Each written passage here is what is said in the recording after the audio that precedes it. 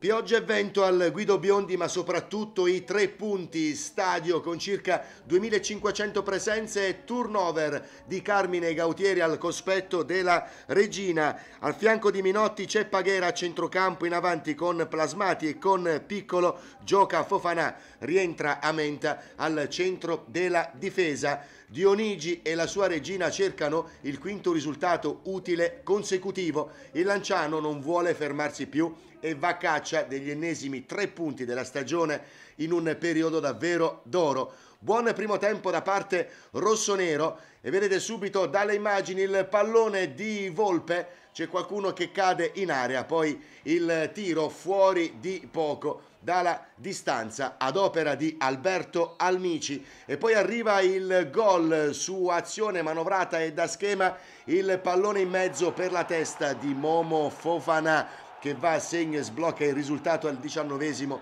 del primo tempo. Da Mammarella a Volpe il pallone per la testa di Fofanà che batte il portiere Paolo Baiocco. La reazione della regina è timida e senza frutti. Vediamo questo questa occasione da parte calabrese con l'uomo più rappresentativo di Michele spara alto sopra la traversa della porta difesa dal portiere Leali, ancora il Lanciano, sempre con Mammarella che suggerisce per Fofanà, questa volta il suo colpo di testa, seppur da buona posizione, non c'entra lo specchio della porta. Con le immagini arriviamo alla ripresa, soffre l'approccio diverso il Lanciano per i primi 15-20 minuti, eppure sono proprio i rossoneri con Almici che serve Antonio Piccolo in mezzo, il pallone sfila in area di rigore, poi il tiro di Alessandro Volpe dal limite, vediamo nel replay,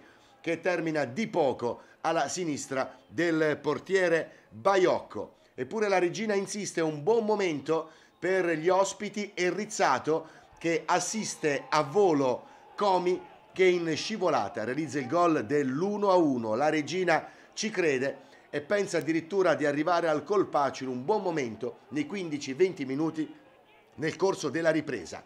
Ma il Lanciano reagisce con veemenza e guardate Falcinelli, entrato proprio in corso d'opera, cosa riesce a realizzare per la gioia di Carmine Gautieri, imbeccato da Almici di testa, stacco imperioso, curva invisibilio con il pallone alle spalle del portiere Baiocco.